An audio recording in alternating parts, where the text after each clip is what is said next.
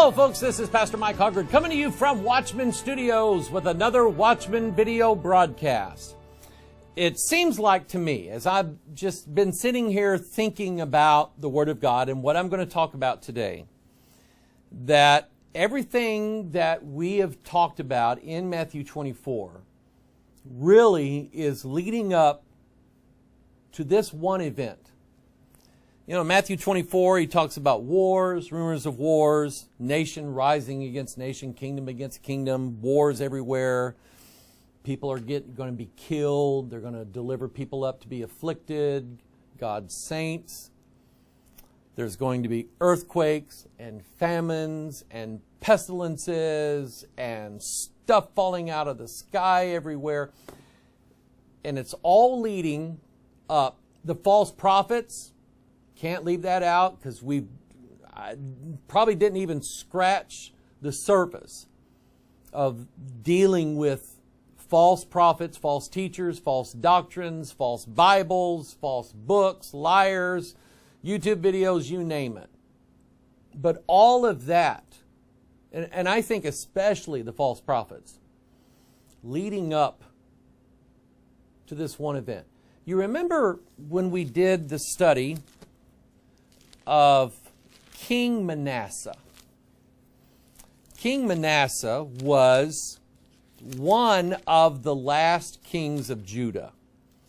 And if you remember, Second Chronicles 33, Manasseh was only 12 years old when he started, when he became king, and he was very early on already being led into the study of witchcraft, sorcery, the occult, uh, worshiping other gods. He knew more about other gods than he knew about his creator God. And it listed these 13 things that he did. And I made a series of that, talking about the 13 things Manasseh did, which led to the 14th thing. He, you know, had his children burned in the fire, you know, going through the fire to Moloch in the valley of the son of Hinnom. And he did enchantments and wizardry and all this stuff. And then the 14th thing he did he set a carved image, the idol which he made in the house of God. No other king before him had done that. It didn't happen, never happened in Moses' time. The high priest, Aaron, Moses' brother, was only allowed to go into the most holy place one day out of the year. That was it. And the most holy place, God's presence there among the Israelites, and his seat of authority which was the Ark of the Covenant and the token of their salvation. My goodness, for Moses to let somebody put an idol on top of that never happened. Never, probably never entered Moses' mind. Joshua, the same way. Solomon, David.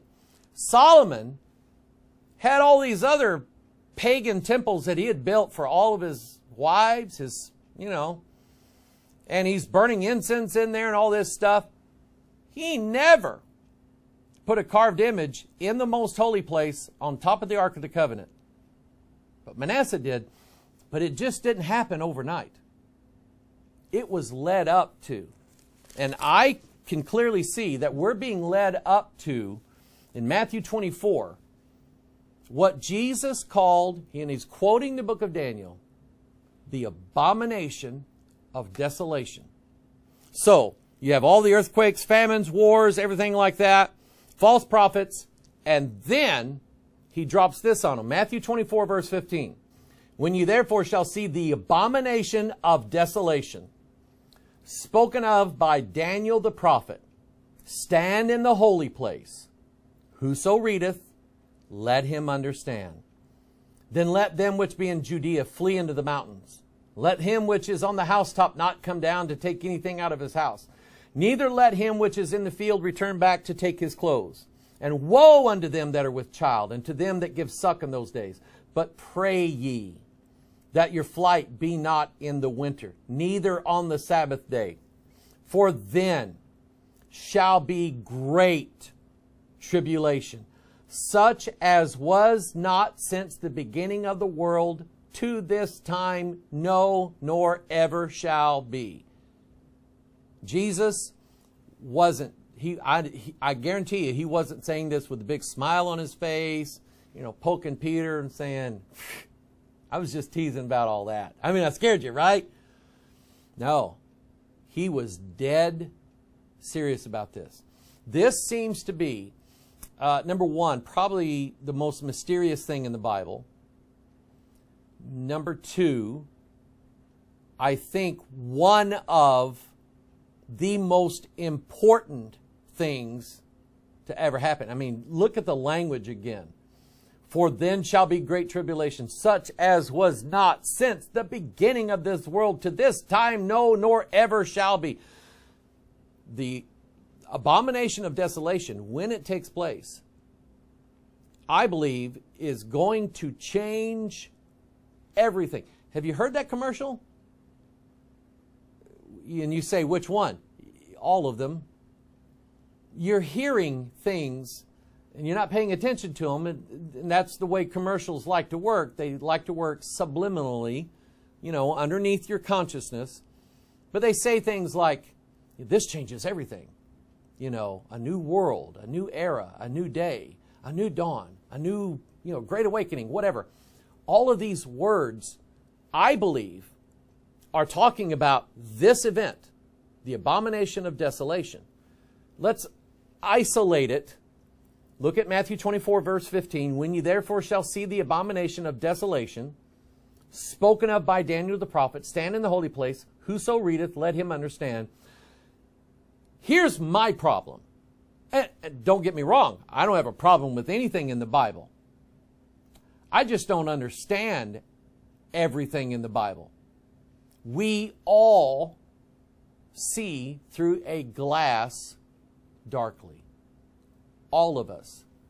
I can remember Dr. Jack Van Impe back in the early 90s when I was a young pastor. On Saturday nights, I would stay up at 11 o'clock and watch Jack Van Impe and Rexella. Here's Dr. Jack Van Impe. And they would give the news, sort of like the Watchman broadcast. And he, he sold a series of video cassettes called Daniel Unsealed. And I'm going, oh, wow, man, that ought to be great. I got to thinking about it. Daniel is, I mean, let's look at it. Daniel, and we're going to read the scripture in a minute. Daniel sealed. It's the 27th book of the Old Testament. Revelation is its counterpart. It's the 27th book of the New Testament. And just like in Jeremiah 32, you have when God told Jeremiah to have it written up the land that he was buying from his cousin, he said there was to be a copy of the book that was sealed and a copy of the book that was unsealed. And that's what we have. We have Revelation, which specifically says that the words are not sealed up in it, but Daniel specifically says these words are sealed up until the time of the end. Now, I read Revelation 5 and 6, where the book is being unsealed. And I didn't see Dr. Jack Van Impe's name in there anywhere.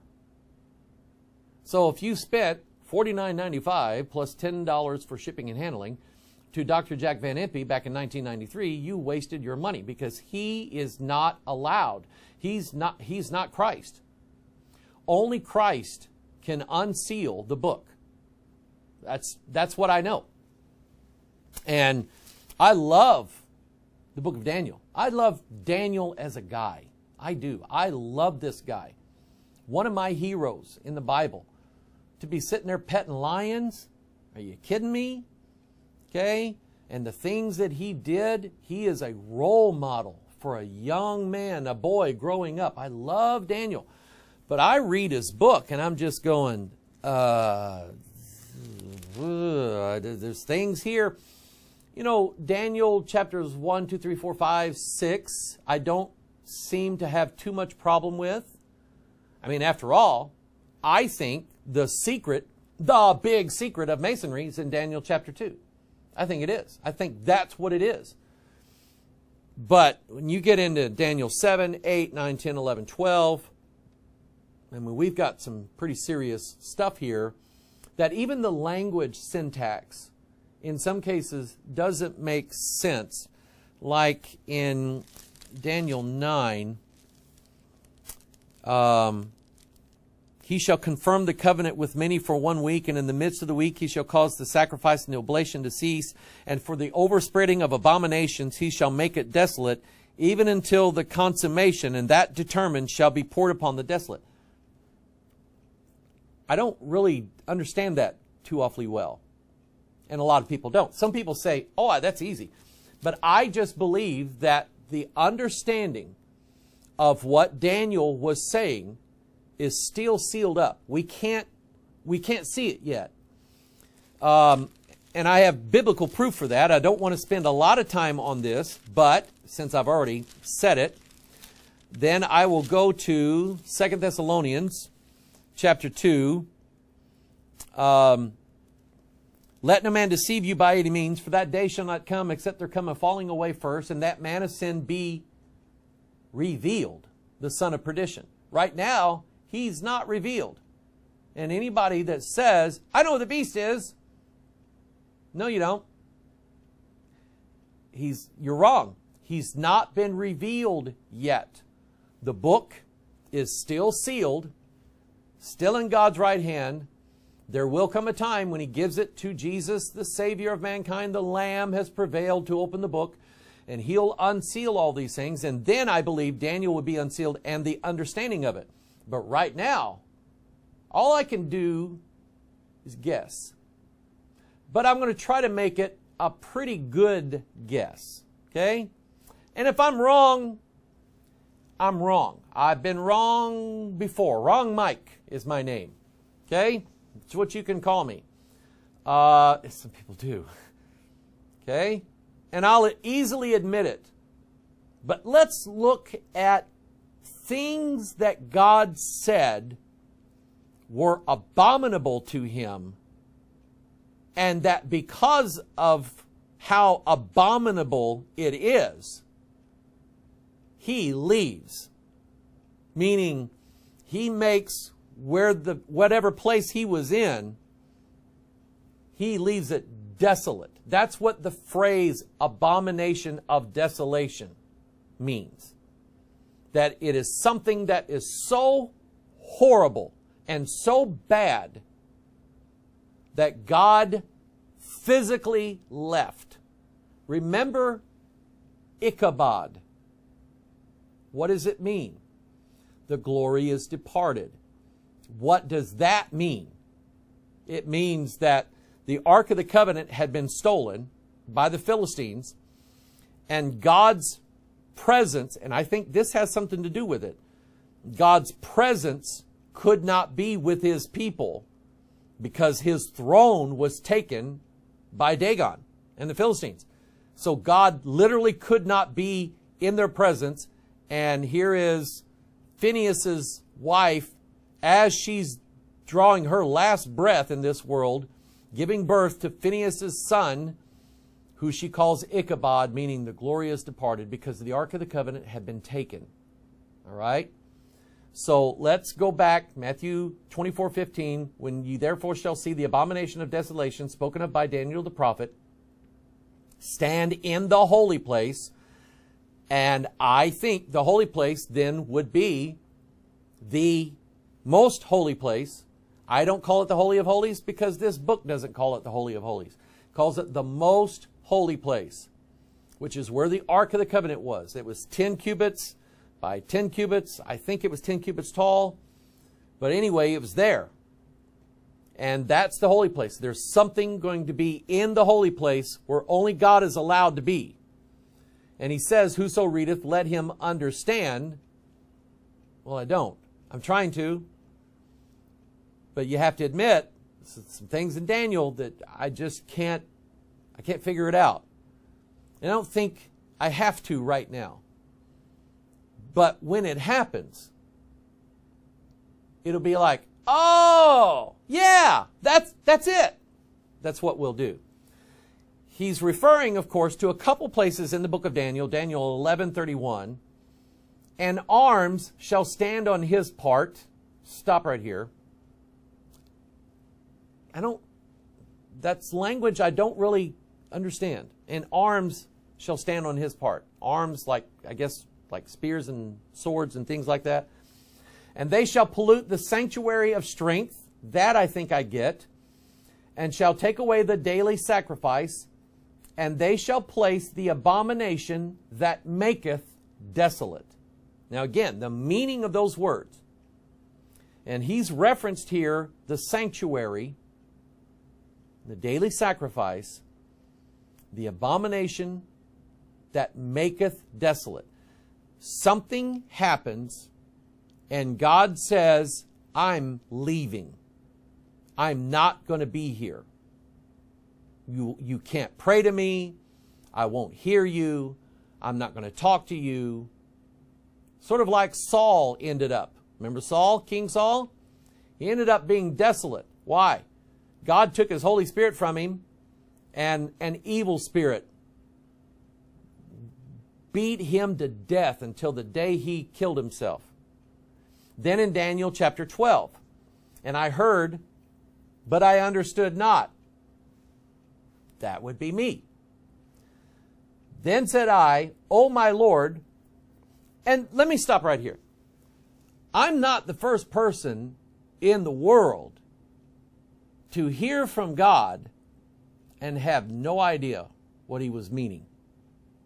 Samuel was called, what, four times? The first three times, he had no clue who it was. He kept going to Eli. Zechariah, John the Baptist's father, was told, hey, you and your wife Elizabeth, you're going to have a baby. But he didn't understand it. He didn't see it for what it was. You had the entire nation of Israel with Jesus the Messiah right in front of them. And they don't understand it. They don't comprehend it. And some things I just don't. And maybe you're gifted. Maybe you are. But I just don't understand it. I heard, but I understood not. Then I said, O my Lord, what shall be the end of these things? And he said, Go thy way, Daniel, for the words are closed up and sealed till the time of the end. The words are. Many shall be purified and made white and tried.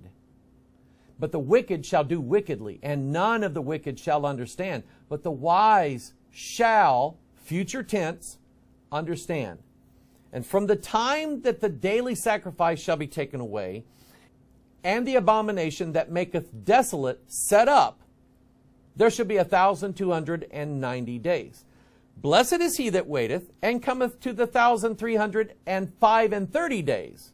But go thou thy way till the end be, for thou shalt rest and stand in thy lot at the end of the days. In other words, God said, Daniel, don't worry about it. For now, just don't worry about it. Write it down like I said it. When it happens, you'll get it. And I think Jesus, going back to verse 15 in Matthew 24, whoso readeth, let him understand. I think there probably will come a time undoubtedly come a time when all of God's people will go, that's it. That's it. But for now, it, it is sealed.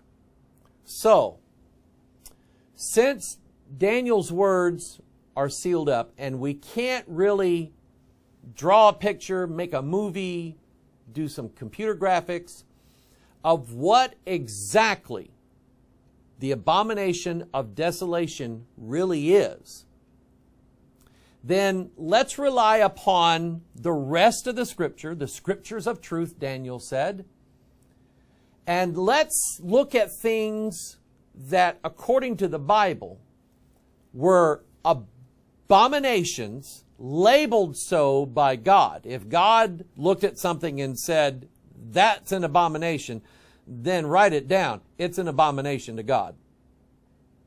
Unlike most preachers nowadays who've changed God's word so much in their preaching and their sermons and their teachings and their podcasts and everything else that they say right is wrong and wrong is right.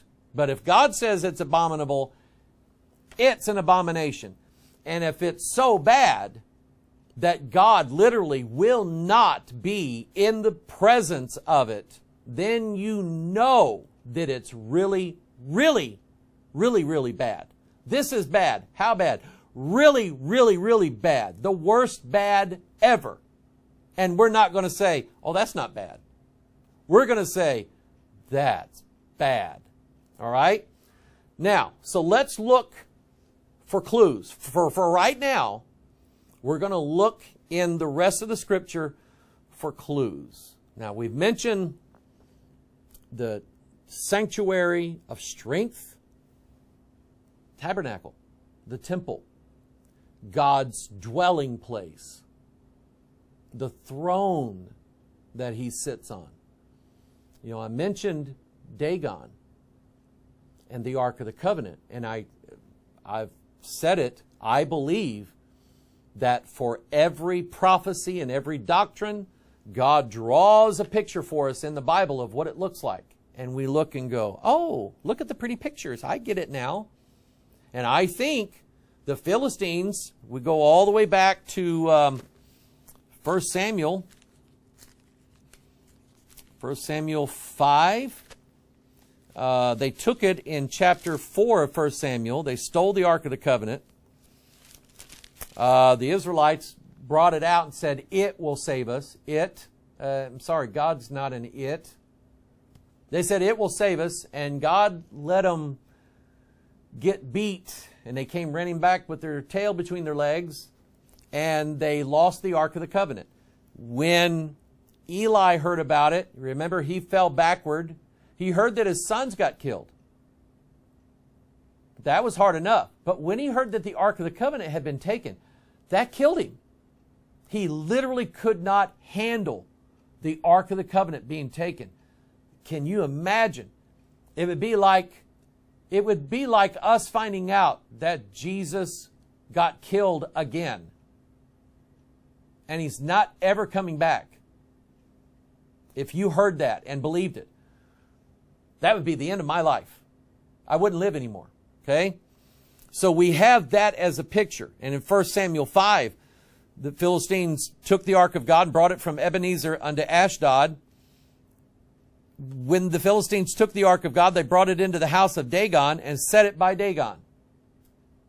Dagon, you think of Dagon as the Antichrist. He's half beast, half man, like Revelation 13. Here's wisdom. Let him that hath understanding count the number of the beast, for it is the number of a man. Both. So Dagon wants that ark. He wants God's throne. I want to sit on it. I want to be in charge. I want to be the boss. I want to be like the Most High. And what happened? Dagon is fallen, is fallen. He fell twice, didn't he? First time, partial fulfillment. Second time, perfect fulfillment. All right? So that in itself is an abomination. And did the Philistines do well because they had the Ark of the Covenant? Did they prosper? No. They all ended up with hemorrhoids. Hemorrhoids. Sores blowing out blood, right? all over their body. Ugh. And so they said, Get this thing away from us. And the, it was the five Philistine lords, five. Number for death, right? Like the five kings in Joshua 10. So, we ask, again, ask the question Are there things in the Bible that when they happen, like with Manasseh, like with Dagon, when God, when that happens, the Ark of the Covenant is taken, and then the woman has the baby. Now the son is revealed, and she calls him Ichabod, the glory is departed.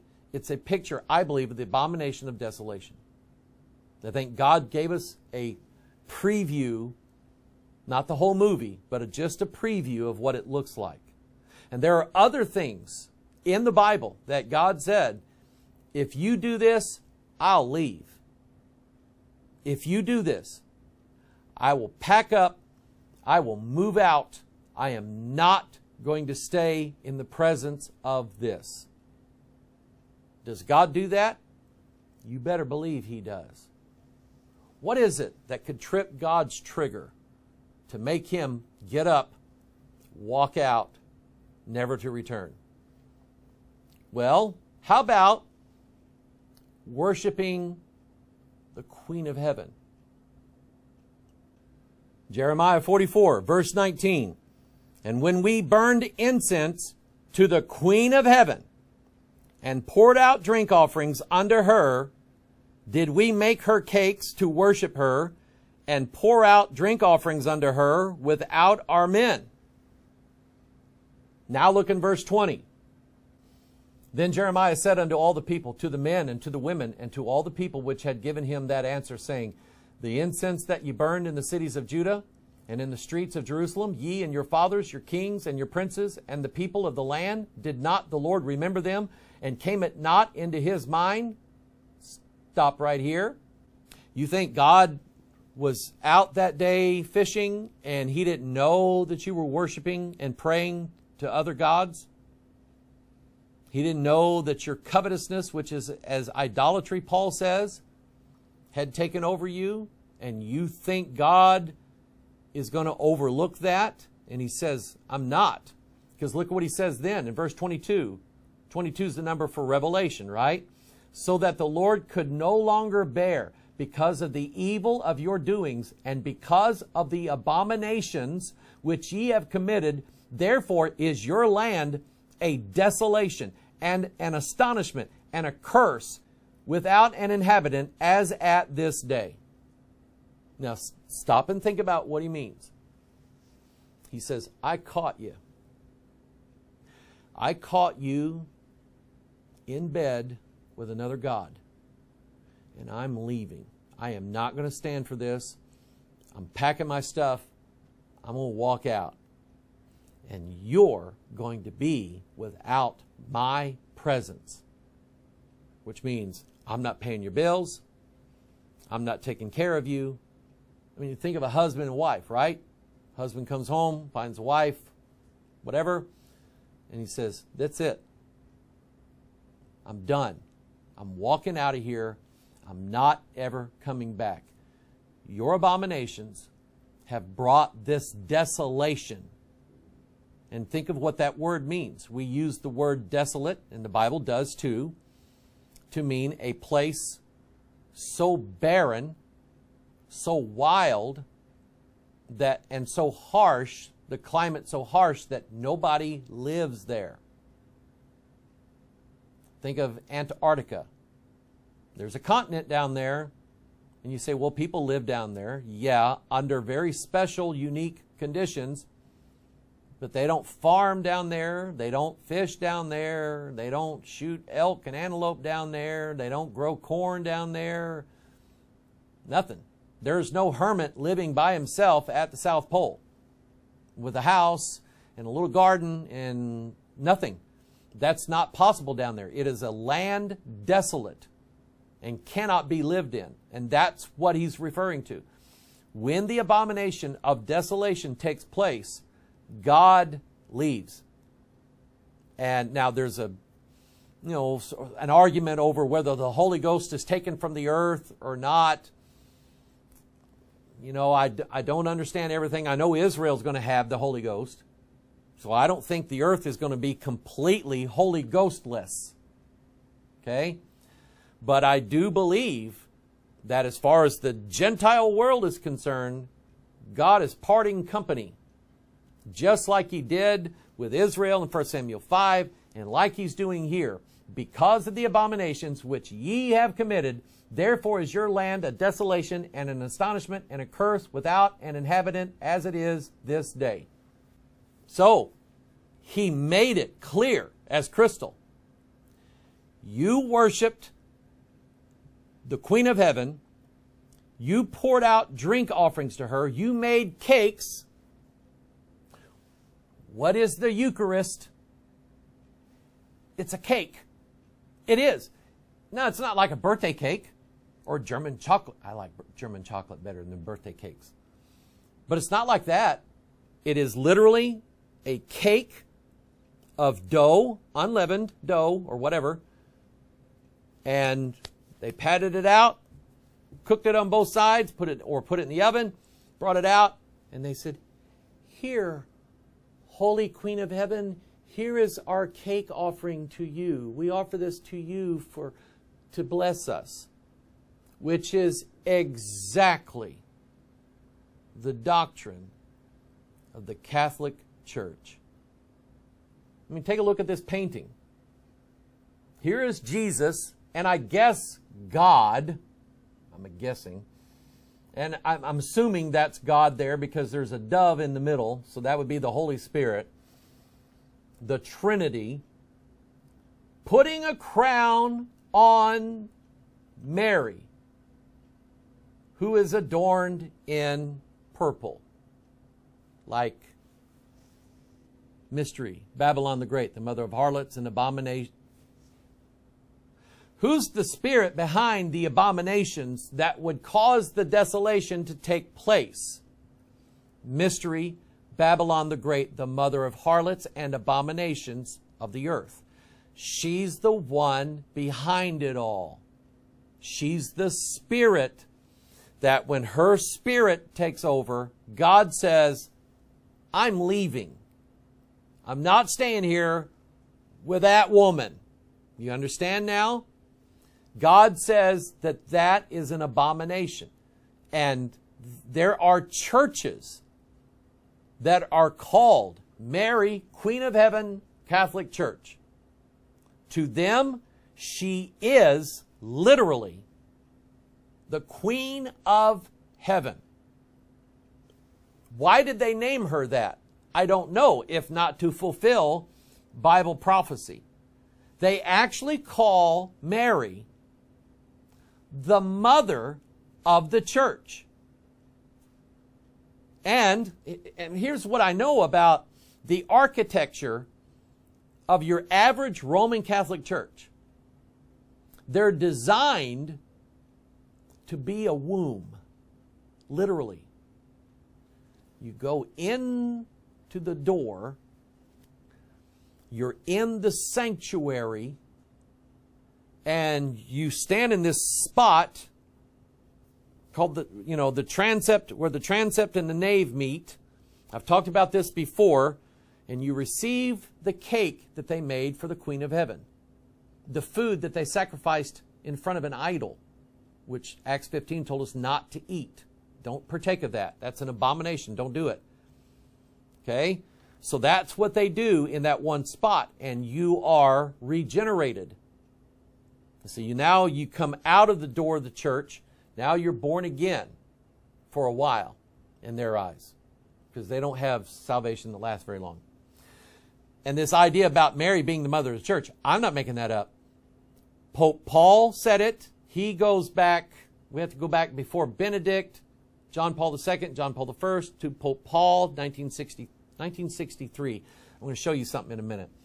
This article, Everyone has a mother. Yes, the mother who gave them birth in the physical order of life. But Christian believers have another mother, the Blessed Virgin Mary. Stop right here. That is not, no siree, that is not what my Bible says. My Bible says, Galatians 4, verse 26, but Jerusalem which is above is free, which is the mother of us all. Not Mary. Jerusalem, heaven is our mother. She is whom we were born the second time from. Some people are born of hell. We're born of heaven. And I'm not going to read all of this, but this, this was pronounced as dogma by Pope Paul and Francis, the talking Pope. St. Paul VI declared Mary as Mother of the Church. Pope Francis in 2018 reinvigorated the title by proclaiming the Monday after Pentecost as the memorial of the Blessed Virgin Mary, the Mother of the Church. through Scripture and tradition, we see clearly how Mary has been mother of the church. Well, I would say through tradition, but not a scripture. Scripture denies their doctrine, their idea. Mary is not the queen of heaven. She is not the mother of the church. And she's not the mother of God. Mater Dei. She's not. The spirit that they're referring to is none other than mystery, Babylon the Great, the mother harlots and abominations of the earth. So let's say you were visiting uh, your uncle Johnny Polanski up in Chicago. And your uncle Johnny says, Yeah, we're going to go to the Catholic Church over here and we're going to have do the prayer and have the priest bless us. And then we'll come back and we'll have some brewskis, all right? So you go up there to Chicago and you go in this Catholic church and you see this. Yes, that is Mary, the mother of the Catholic Church, the Queen of Heaven sitting on the Ark of the Covenant. I would, I would just, you know, I'm not God, not close, but I know what God said, and I'm pretty sure this qualifies for being something that God says, I'm looking at this. Manasseh did it. Other people have tried it. And I'm leaving. There is no way in the world that God is going to sustain his presence with a statue of the scarlet woman, who they say is Mary, and it's not, the statue of the scarlet woman sitting on God's seat of authority. Sitting in the place where God administers His grace to us from heaven. That's what the Ark of the Covenant represents. It represents Christ's blood being the atonement sprinkled upon the mercy seat of God so that God then can justify all of us sinners by His grace. And it's done so with Him sitting upon the everlasting Ark of the Covenant that is in heaven. Revelation, I think it's Revelation 11. The Ark of the Covenant was seen. John saw it up in heaven. We know that's God's throne. We know that's God's mercy seat. And the Catholic Church declares that Mary is just as equal as Jesus Christ when it comes to redemption and salvation and the administration of God's grace. That, my friend, is an abomination that would cause God to make that place desolate, saying, I will not abide here. But you know what? It's really not the only thing that the Catholic Church has done that would cause God to just get up and walk out if he was ever there to begin with. And I'll show you that in a minute. I got some big things in here to show you. Things I've known about for years. I've just kind of held on the back of my mind. I may have mentioned it a few times before, but I'm going to draw it into this context today. There are other things in the scripture that God says, I'm not going to abide this. I'm not going to live in this house. I am not going to maintain a presence here. If you continue on this way, being this way, doing these things, I will leave. Job chapter 15, verse 34. For the congregation of hypocrites shall be desolate. What's a congregation? a church, a church full of hypocrites. Matthew 23, Jesus defined what all makes hypocrites. You bind people with heavy burdens, but you won't lift a finger to do anything. You put burdens upon people that are so hard and so difficult, you make it practically impossible for anybody to be saved. But you yourself, you're sort of like Congress with Obamacare, right? Oh, Obamacare, that's for the American. Well, that's not for us congressmen. What are you kidding? we don't want that insurance. That's, a, that's junk. It's worthless. We don't do that. Well, we make you do it, but we don't want it. We don't want anything to do with it. Okay? So, congregation of hypocrites. God literally leaves a church. He withdraws his presence. Now, there has to be a replacement spirit in there, right? So then comes in 2 Corinthians 11, Paul said, another Jesus, another spirit, another gospel. It will easily replace, whenever God leaves, don't worry, because nature abhors a vacuum. When God leaves and His presence leaves, there's plenty of spirits that will show up to replace Him. Plenty of dogmas, plenty of doctrine, plenty of traditions, plenty of lies, plenty of abominations to fill a place when God leaves. For the congregation of hypocrites shall be desolate, and fire shall consume the tabernacles of bribery. They conceive mischief and bring forth vanity, and their belly prepareth deceit. The language of the King James Bible is stunning here. Stunning, the whole thing. But look at what he's saying. They conceive mischief. Well, that's a baby being conceived, isn't it? Remember what I told you about the mother of the church and Catholic churches are wombs? You have to, you can't receive any of the graces of the Catholic Church outside of the Catholic Church they conceive mischief, bring forth as like a child vanity. That's the it's the antichrist. Their belly prepareth deceit. A child is going to be born. A man of sin, a son of perdition is going to be revealed whose every word is a lie, a deceit. Psalm 34 21 Evil shall slay the wicked, and they that hate the righteous shall be desolate. The Lord redeemeth the soul of his servants, and none of them that trust in him shall be desolate. See, I like to give the good with the bad, right? The bad is the evil things that people do. Evil shall slay the wicked, and they that hate the righteous shall be desolate. When there is so much hatred in this, in this country, for Bible Christianity. That's to their destruction. Remember, Jesus said, They hate you, yeah. They hated me first.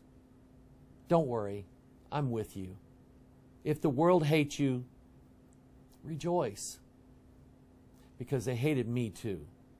So just join with me and everything will be okay. And I promise you, like he said, None of them that trust in him, none of them that put their trust in Jesus Christ will ever be desolate. God, Jesus is telling us, since I'm in your throne, in your heart, abiding in the tabernacle that I made, if I'm in there, don't worry. I will never leave you. I will never forsake you. Isn't that beautiful? I love it. Psalm 69. They gave me also gall for my meat, and in my thirst they gave me vinegar to drink. That's a prophecy of Christ on the cross. So he says in verse 22, Let their table become a snare before them, and that which should have been for their welfare, let it become a trap. Let their eyes be darkened, that they see not, and make their loins continually to shake. Pour out thine indignation upon them and let thy wrathful anger take hold of them. Let their habitation be desolate, and let none dwell in their tents. Stop right here. Now he's explaining what it means to be desolate. The fact that nobody can live there, especially God. Remember the teaching I did several years ago, and I'm going to bring that back up again into this context where dragons live. God showed me through a, just, I got curious one day about dragons in the Bible and I wanted to study it out. And I found out the Bible is like a Boy Scout trail guide showing you, see this creature over here? This is where it lives. This is where it grows. This is what it eats. This is what it thrives on. See these places over here? You'll never find dragons over in this place. They don't like to live there. They won't live there. They'll leave. But they do like to live here. This is what we're talking about. Let their habitation be desolate, and let none dwell in their tents. For they persecute him whom thou hast smitten, and they talk to the grief of those whom thou hast wounded. Add iniquity unto their iniquity, and let them not come into thy righteousness. Let them be blotted out of the book of the living, and not be written with the righteous. See, you understand what he's saying here. That those whom God has left, they had literally are living in utter desolation. And God is saying, and remember, this is a prophecy, Christ on the cross, because they gave him vinegar to drink. Who did? The Jews. Israel. And did God leave them? Yeah. Temporarily. But he left them. He said, I'm not going to dwell with them. I'm going to let their habitation become a snare unto them. I'm going to let it be a trap. I'm going to let their doctrine destroy them, the deceit that's in their heart, and all these things they invented, they got from the Babylonians and the Sumerians and the Canaanites and all those evil Kabbalah doctrines. I'm going to let that destroy them.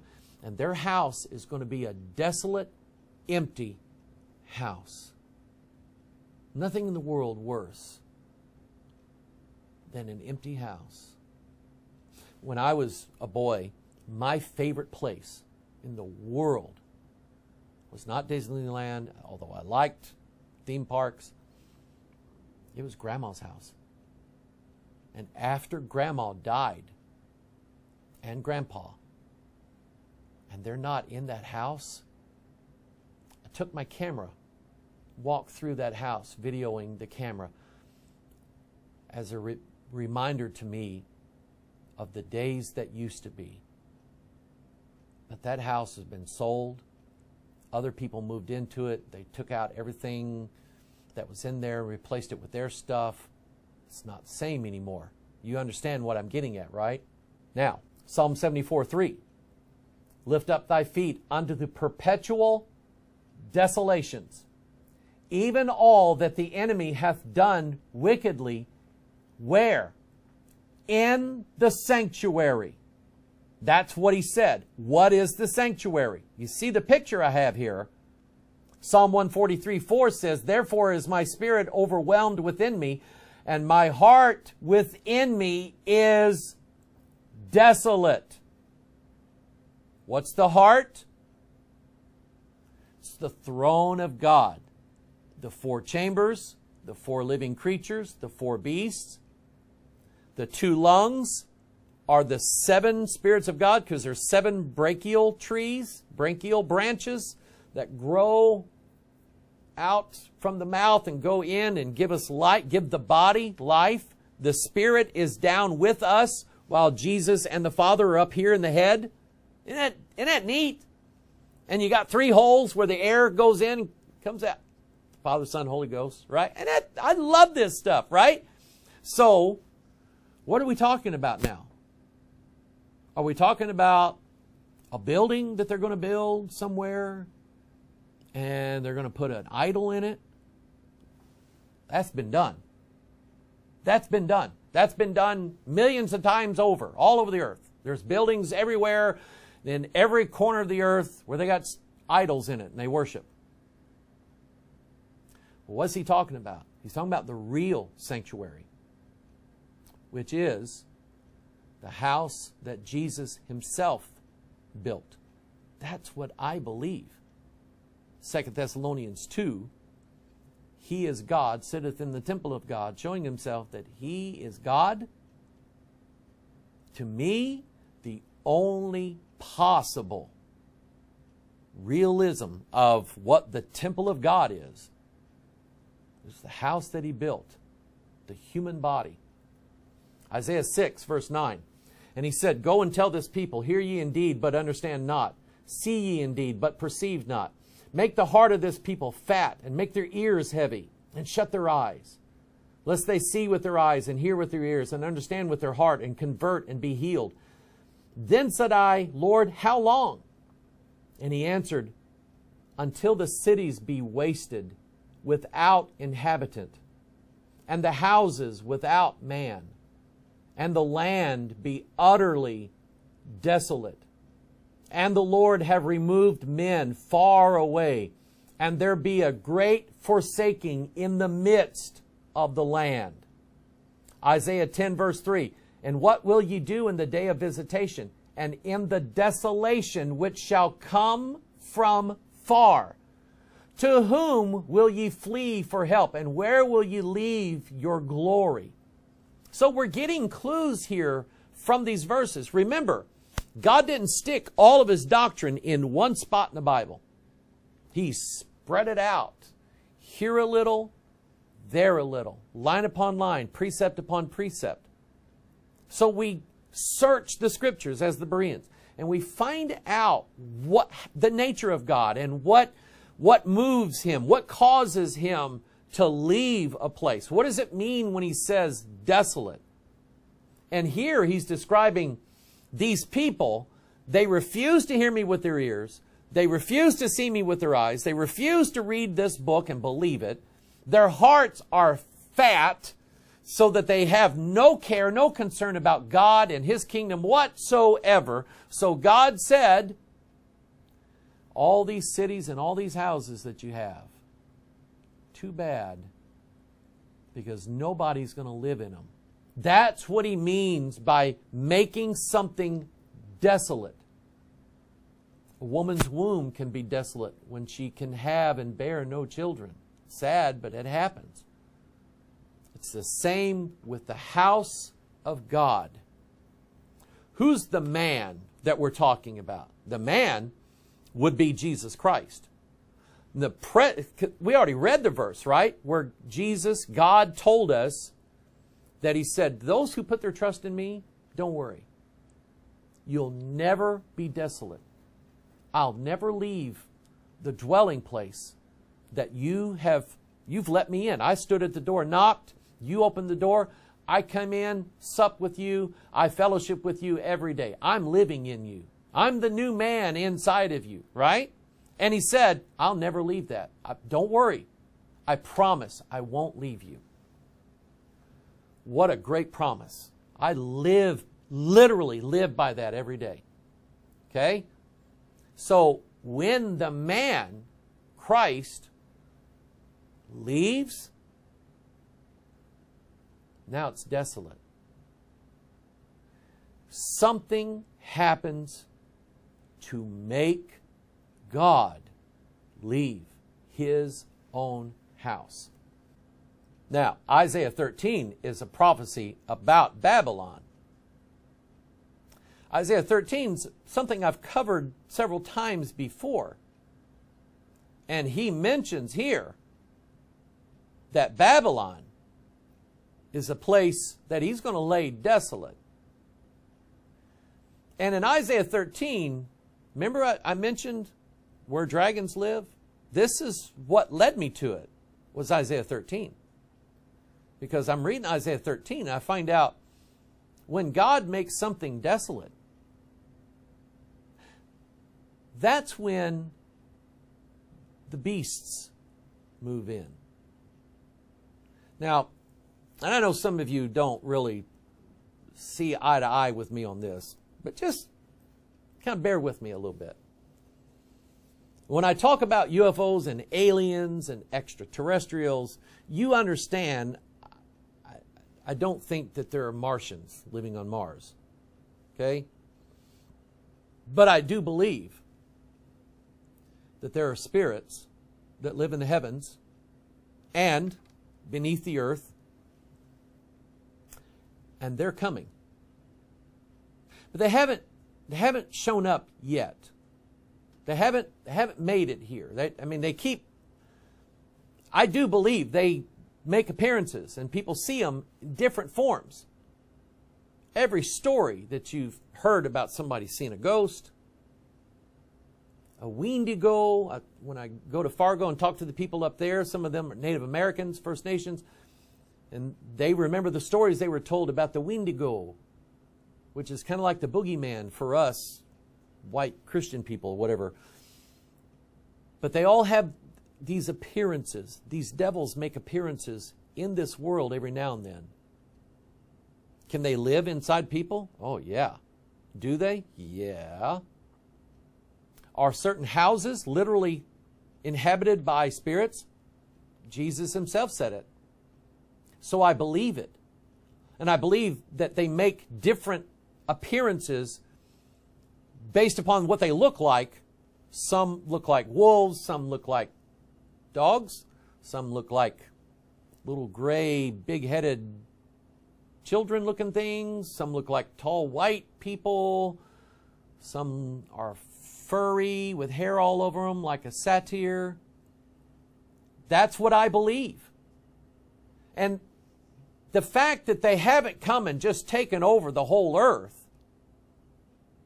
is because God's people who just believe the Bible and believe the Word of God and live by it, well, we're still here with this book everywhere we go.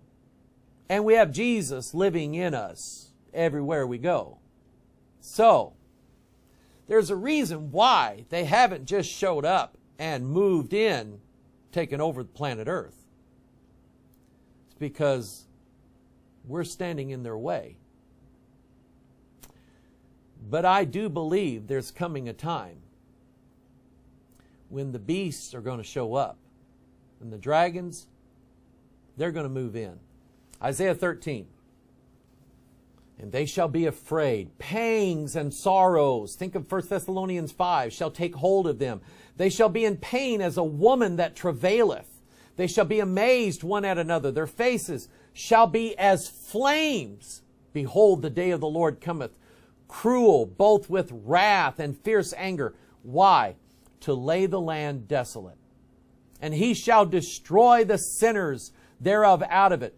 For the stars of heaven and the constellations thereof shall not give their light. The sun shall be darkened in his going forth, and the moon shall not cause her light to shine. That's Acts chapter 2, Joel chapter 2, Revelation chapter 6.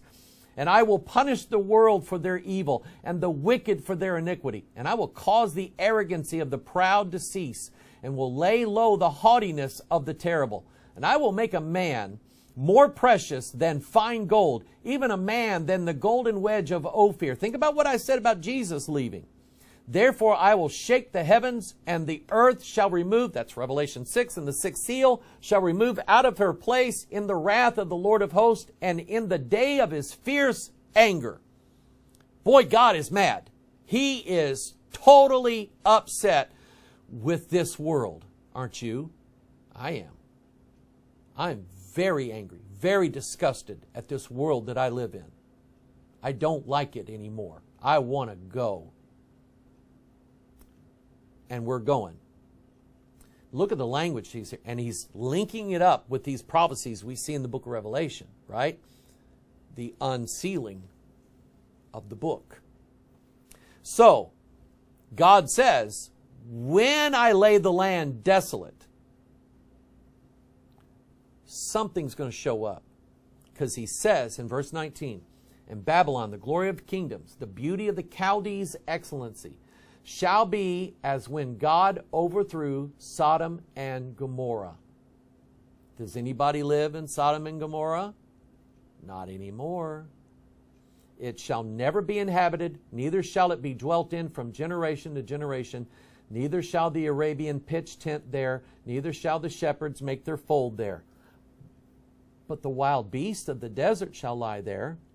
Is there more than one kind of beast? Is there just little furry little animals in the woods? No, there's devils. What Ezekiel called living creatures in Ezekiel 1, John called beasts in Revelation 4. So that's what they are.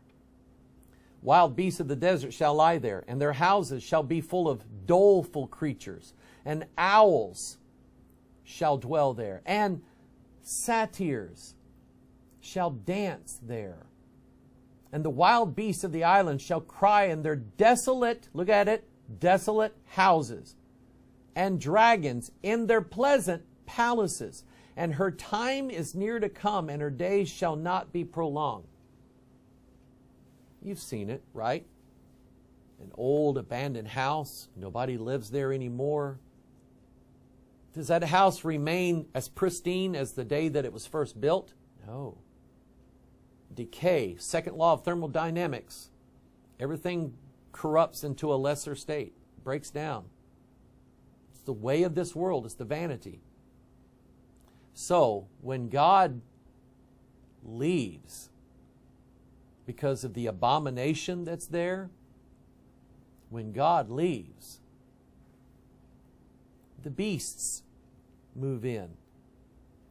The owls. And we're not just talking about, we're talking about devils. Satyrs. That's used in a couple places in the Old Testament. The Hebrew word sa'ir, something like that. And in one place in the King James, it's actually translated devils. Now, remember what I said about the Vatican? You know, the people who get all mixed up oh who their mother is. They think their mother is Mary, but it's not. Well, well, it is Mystery Babylon. That that is their mother. That, they're they're right. That that's Mystery Babylon, the Great, the mother of harlots and abominations of the earth. And all you need to know is to know a little bit about the Bible. And then your eyes will be open and you'll see it. Because guess what? In St. Peter's Basilica, that word basilica is from a Greek word, basileus. It means like a where a king lives. In St. Peter's Basilica, where the Pope does the Mass from. Okay? Oh, there's tons of symbolism there. I don't have time to get into it. But, you know, where the Pope stands to have those high masses that they do in the Vatican, St. Peter's Square, St. Peter's Church. He's standing in this one spot, and there's these four, like, windy pillars. That's called a baldacchino. That's Italian word. And there's this roof over it, and it's got these four twisty columns that hold it up. Guess what's on those columns? Satyrs. There they are. This is the baldacchino altar covering, St. Peter's Basilica. And on the bottom, the four square foundations of each one of those twisty posts that called Solomonic pillars. Below the bees, those are satyrs. They are satyrs. That the Catholic Church says they're satyrs. The guy that designed it put satyrs in a desolate house, exactly where God said they would be. Is God ever wrong? No. And he told Isaiah, Isaiah, write this down because they're going to see it. My people are going to know what I, that I, what I say is true, even though in Isaiah's day, none of this stuff had ever happened. When Isaiah wrote it down, had not occurred yet. Now, I can't remember when this baldacchino was designed and built. Been a few hundred years ago. They put satyrs in the desolate house where God says, if they're there, it's because I'm not there. To all the Roman Catholics who would ever listen to me, I don't hate you. I hate your religion because it keeps you in perpetual bondage. You are never free from sin as long as they rule over you with their masses and their penances and the indulgences, the money that they want to cheat you out of for saying a mass in somebody's name to get them out of purgatory. That's a scam. It's not in the Bible. And I would like for you to be free from that. You can, did you know that you can pray directly to God through Jesus Christ? You don't have to confess your sins to a priest, ever. You don't have to. That was never in the Bible anywhere. You confess your sins to God, and He will make you free. And there's lizards there. Literally dragons. There's dragons in what is supposed to be the house of God. So is Isaiah 13, is it right? Did it tell the truth? Absolutely it did. I, I got to add this in. I just get fascinated when I start seeing symbols of things. This is what's directly above the baldacchino where the satyrs and the dragons are. Notice the blue area with the stars in them. Those are seven pointed stars. Guess how many there are? I'll just tell you. There's 32 of them. Which means, and I've dealt with this number so many times before, you should get it by now. Which means the 33rd person is the one standing underneath all of them. The man who refers to himself as Holy Father. That phrase is used one time in the whole Bible. It's in John 17, and Jesus did not refer to Francis or Benedict or Pope Paul or John Paul or anybody else for that matter. He was referring to his heavenly Father. It is blasphemy for a man to take the title of Holy Father. It is what Lucifer said I will be like the Most High. Do you think that all of this qualifies as an abomination that will cause God to make that house desolate? Absolutely. But as I said, that's not the only thing that they've done. The Vatican. 1963. I've had an idea. By the way, we're now celebrating, it's close to January 20th. We're now celebrating 12 years of the Watchman video broadcast. Glory be to God always for what he has done. But this guy here, I'm not much. And to all the people that have followed this ministry for these past 12 years, God bless you. I love you. Okay? But I've had it in my mind for years since I heard about this. I knew something was unique about the year 1963. Let me think about it. In America, 1963, Supreme Court for the first time ever said God cannot come into our schools. They, the Supreme Court banned having prayers in all public schools across the nation. See, I was born in 66. I never had a time when I stood up in a public school classroom and said prayers. Never. That was after, that was before my time. 1963, the assassination of a president. First time it's ever been filmed or photographed, right? And the symbolism there, well. But then something else happened. I heard a rumor, and I wasn't sure if it's true. A Jesuit priest by the name of Malachi Martin. He had written several books. He was an insider in the Vatican, knew what had gone on there. Now, he was a man that was in love with his church. I'll give him that. And I've said it before Jesuit priests, smartest people in the world. Why do they pray to statues? I'll never understand that. You can be smart, but not know God. So I'm not saying the man's a saint by any means whatsoever. But he wrote so many things exposing what was going on in the Vatican. Books like, um, I can't remember one where he's talking about the installment of a pope.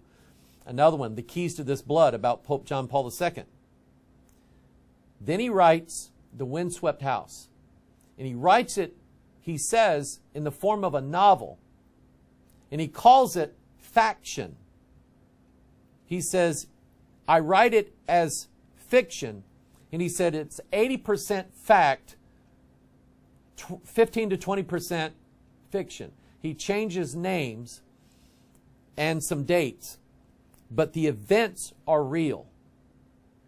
And in the very beginning of the book, The Windswept House, this is what Malachi Martin said he knows what happened.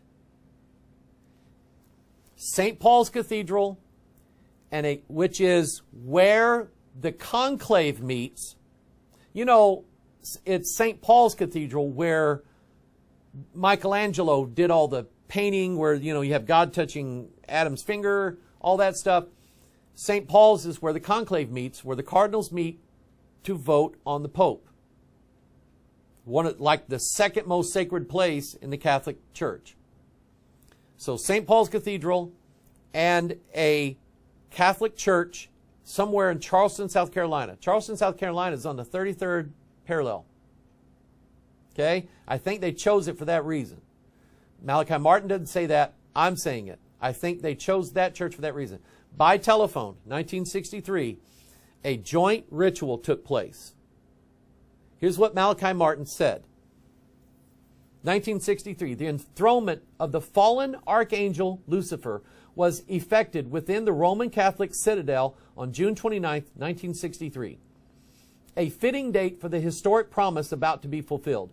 As the principal agents of this ceremonial well knew, Satanist tradition had long predicted that the time of the prince would be ushered in at the moment when a pope would take the name of the apostle Paul.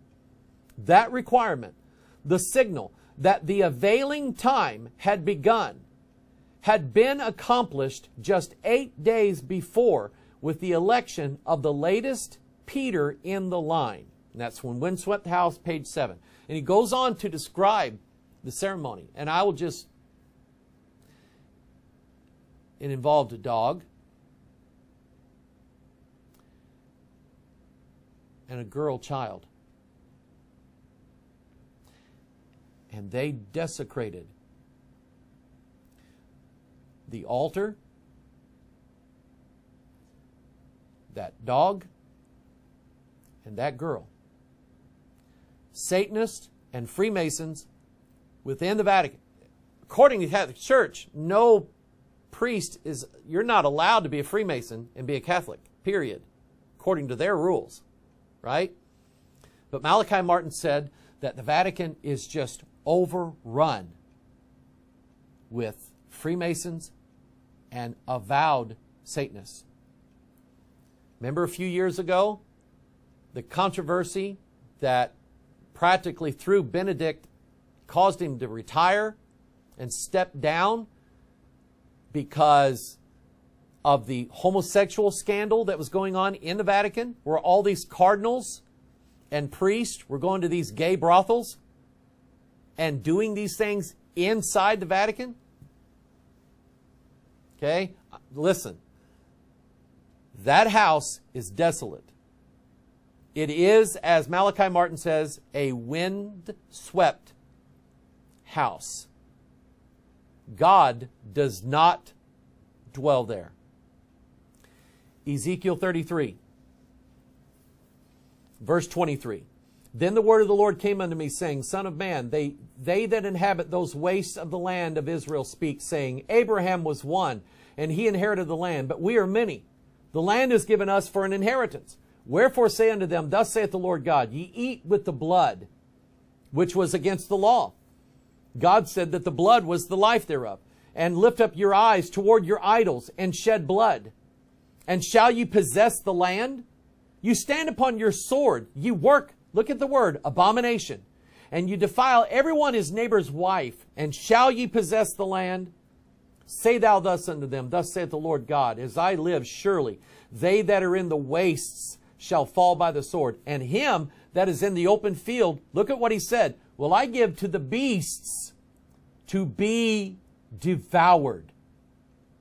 And they that be in the forts and in the caves shall die of the pestilence, for I will lay the land most desolate, and the pomp of her strength shall cease, and the mountains of Israel shall be desolate, that none shall pass through. Then shall they know that I am the Lord, when I have laid, here it is, the land most desolate, because of all their abominations which they have committed.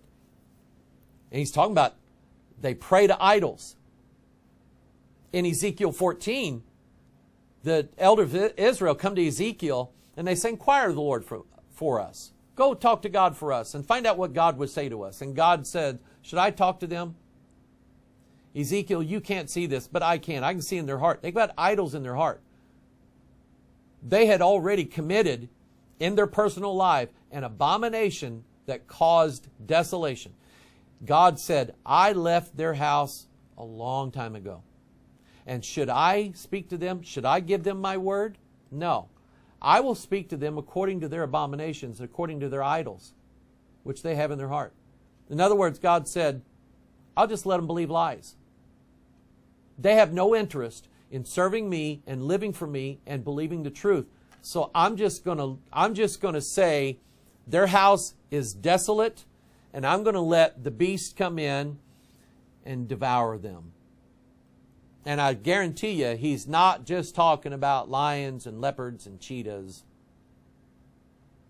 He's talking about devils are going to move in because the abominations caused God to leave. And he said, The land now is desolate. Jeremiah 7, verse 32. Therefore, behold, the days come, saith the Lord, that it shall be no more be called Tophet, nor the valley of the son of Hinnom, but the valley of slaughter. For they shall bury in Tophet till there be no place. And the carcasses of this people shall be meat for the fowls of the heaven and for the beasts of the earth, and none shall fray them away.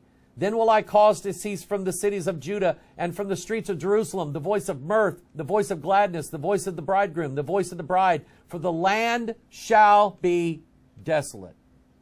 Look at what he says. He said, the, the people that live here, he calls, he says the fowls of the heaven.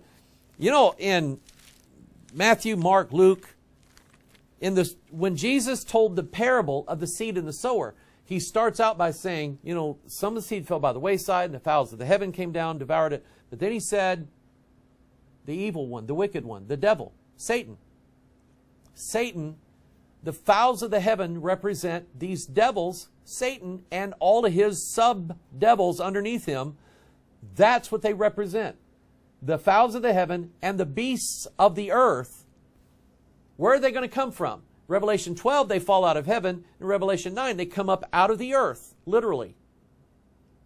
These beasts are going to come because God has left the building. And he's not staying there. And he's going to give back to mankind exactly what they have coming. He said, I'm going to allow these beasts to come and just devour you. They're going to eat you. And he said, None shall fray them away. You know what that means, don't you? You know how you get out of here, you birds. Shoo, gone out of here. Okay? God said, They're not leaving.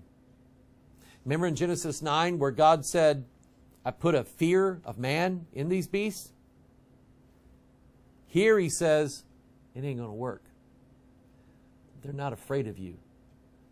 They're going to devour you. That's, that's what he means. When the abominations are done that causes the desolation to happen, the beasts and the devil show up.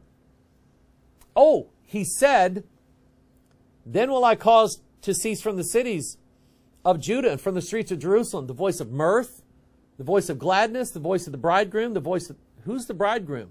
Jesus. Who's the bride? Us. He said, There's going to come a time you're not going to hear the church people singing, you're not going to hear the preachers preaching, you're not going to hear the Bible. Where else have you read that? Revelation 18. And they cast dust on their heads and cried, weeping and wailing, saying, Alas, alas, the great city wherein were made rich all that had ships in the sea by reason of her costliness, for in one hour is she made desolate. Rejoice over her, thou heaven, and ye holy apostles and prophets, for God hath avenged you on her. And a mighty angel took up a stone like a great millstone, and cast it into the sea, saying, Thus with violence shall that great city Babylon be thrown down and shall be found no more at all. And the voice of the harpers and musicians and of pipers and of trumpeters shall be heard no more at all in thee, and no craftsman of whatsoever craft he be shall be found any more in thee. And the sound of a millstone shall be heard no more at all in thee. And the light of the candle shall shine no more at all in thee. And the voice of the bridegroom and of the bride shall be heard no more at all in thee. Same thing he said about Jerusalem is the same thing he said about Babylon. For thy merchants were the great men of the earth, for by thy sorceries were all nations deceived. And in her was found the blood of prophets and of saints and of all that were slain upon the earth. Wow, this is deep stuff. What God said about, by the way, in Revelation, He said Jerusalem is that great city, Sodom and Egypt. Jerusalem on the earth seems to have become Babylon the Great, which is similar to what has happened in a lot of the churches all across the world now. We find that in Jeremiah 9:11. And I will make Jerusalem heaps and a den of dragons and I will make the cities of Judah desolate, without an inhabitant. Jeremiah 10:22 Behold the noise of the bruit is come and a great commotion out of the north the north countries the heavens to make the cities of Judah desolate and a den of dragons. So, just to make what I'm trying to lay out for you very clear, I will just stick with Scripture on what I believe will be the abomination, the, the one great big abomination of all abominations that's ever been abominated on the earth. This, there's going to be one great big gigantic abomination. Jesus said, the abomination of desolation. The, that one big one. I think it's Ezekiel 28, 2 Thessalonians 2. And you can see it in other places in the Bible, but I think he makes it very clear here. Ezekiel 28, the word of the Lord came again unto me, saying, Son of man, say unto the prince of Tyrus, Thus saith the Lord God, because thine heart is lifted up, and thou hast said, I am a God capital G. I sit in the seat of God, in the midst of the seas, yet thou art a man and not God.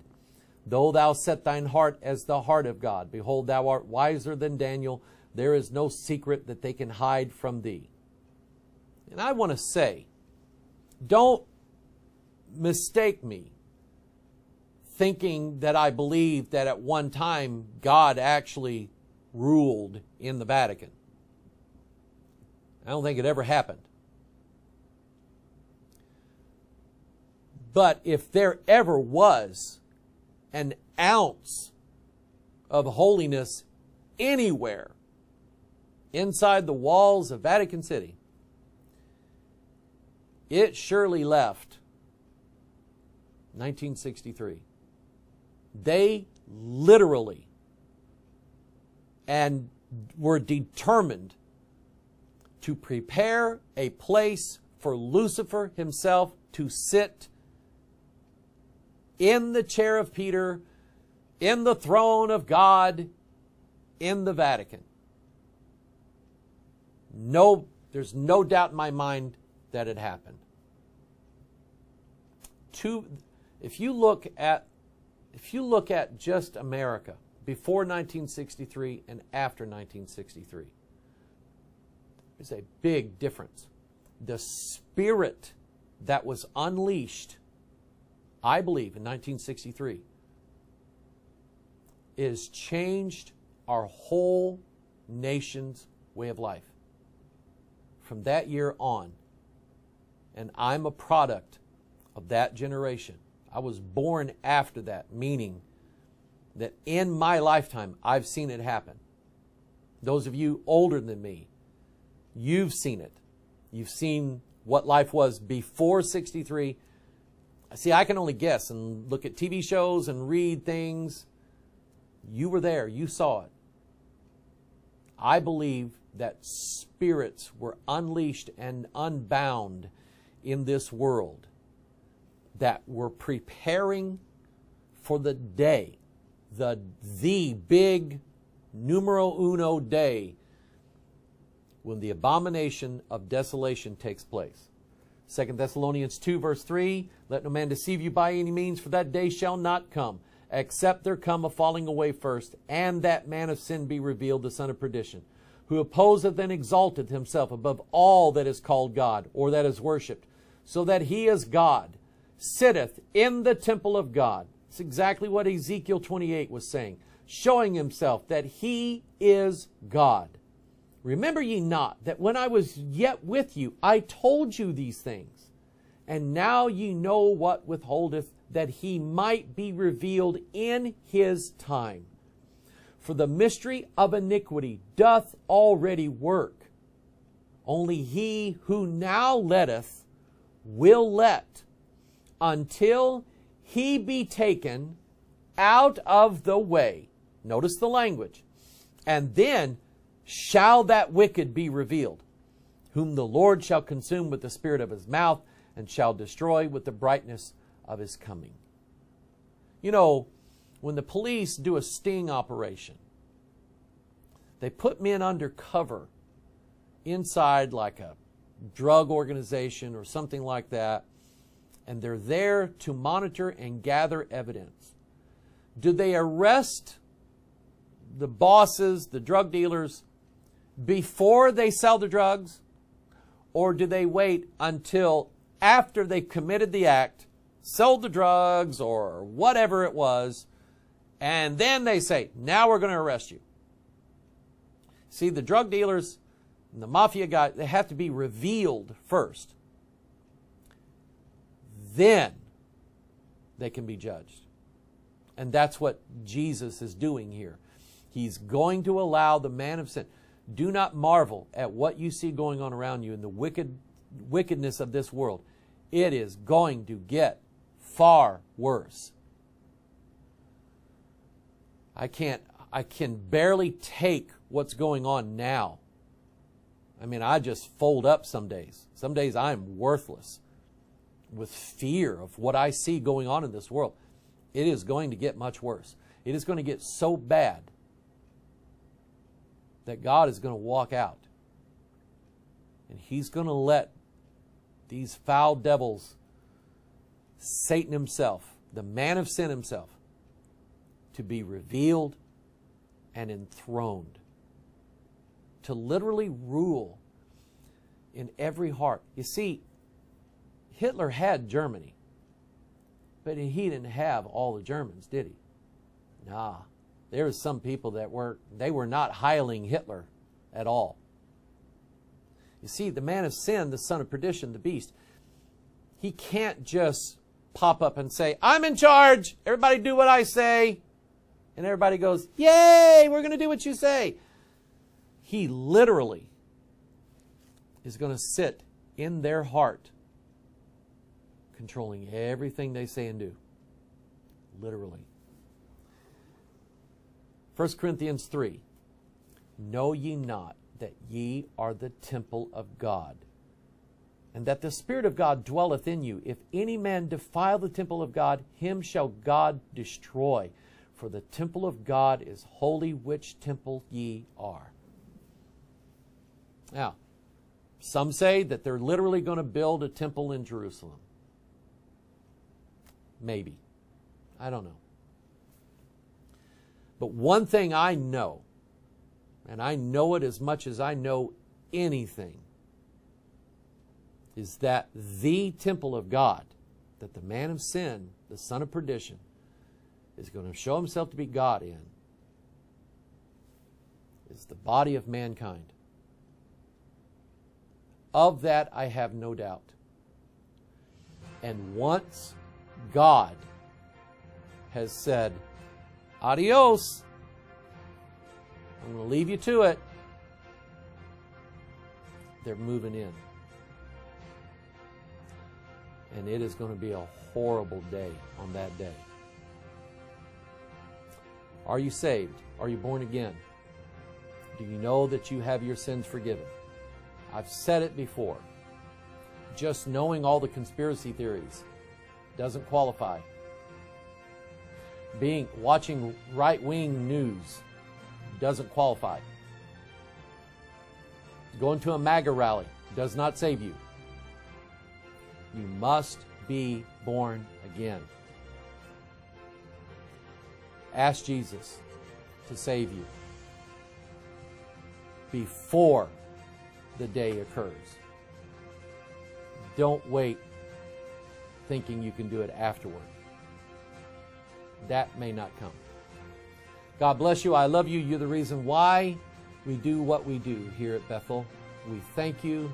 I said it this morning. We never take anybody for granted. We thank you for being as much a part of this ministry as I am. God bless you all. I love you. We'll see you next time. Bye bye.